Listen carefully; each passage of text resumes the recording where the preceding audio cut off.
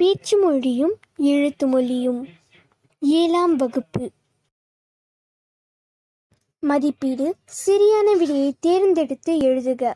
மொழியின் முதல் நிலை பேசுதல் கேட்டல் ஆகியனவை ஆகும். ஒளியின் வரி வடிவம் எழுத்து ஆகும். தமிழின் கிளை மொழிகளில் ஒன்று தெலுங்கு. பேச்சு மொழியை உலக வழக்கு என்றும் கூறுவர்.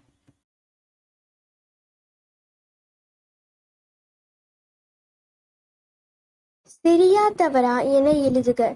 மொழி காலத்திற்கு ஏற்ப மாறுகிறது. விடை சரி. எழுத்து மொழி காலம் கடந்தும் நிலைத்து நிற்கிறது. விடை சரி.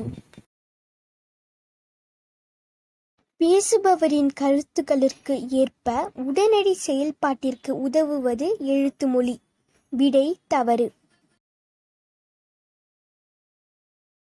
எழுத்து மொழியில் உடல் மொழிக்கு வாய்ப்பு அதிகம். விடை தவறு. பேச்சு மொழி சிறப்பாக அமைய குரல் ஏற்றத்தாழ்வுகள் அவசியம். விடை சரி. ஊடகங்களை வகைப்படுத்துக.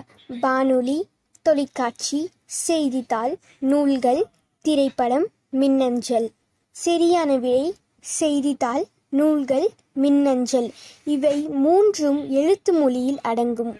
வானொலி தொலைக்காட்சி திரைப்படம். இவை மூன்றும் பேச்சு மொழியில் அடங்கும்.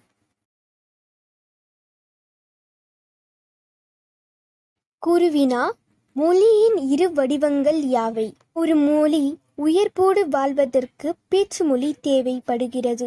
காலம் கடந்து வாழ்வதற்கு எழுத்து மொழி தேவைப்படுகிறது. எனவே பேச்சு மொழி எழுத்து மொழி இவ்விரு வடிவங்களும் மொழியின் இரு கண்களாகும். பேச்சு மொழி என்றால் என்ன?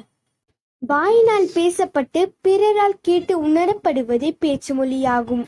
மொழியின் உயிர் நாடியாக விளங்குவது பேச்சு மொழியே என்பர். வட்டார மொழி எனப்படுவது யாது? பேச்சு மொழி இடத்திற்கு இடம் மாறுபடும்.